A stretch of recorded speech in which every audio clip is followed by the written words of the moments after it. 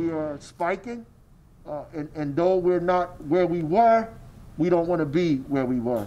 Starting on Tuesday, all stores in Newark, except supermarkets, pharmacies, and gas stations, have to close at 8 p.m. daily. Restaurants and bars will be allowed to do delivery and takeout after 8, but indoor service must stop at that time. Outdoor service can continue until 11. Anyone inside restaurants must be screened and have their temperature taken. Beauty salons and barber shops must operate by appointment only. Gyms must clean every hour and take temperatures at the door. City Hall will be open by appointment only.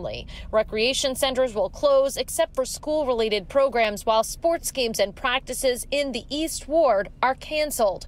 The East Ward is where COVID is spiking highest, with a positivity rate of over 25%. Which uh, is not that surprising uh, because that's where most of the nightlife, restaurants, events, things take place, and it's a densely populated ward as well. Today, New Jersey Governor Phil Murphy announced the rollout of a statewide vaccination plan, which includes getting 70% of residents vaccinated and building public trust. They plan to roll out the vaccine first to communities that were hardest hit, like here in Newark. It isn't the only hotspot. It is our largest city, however.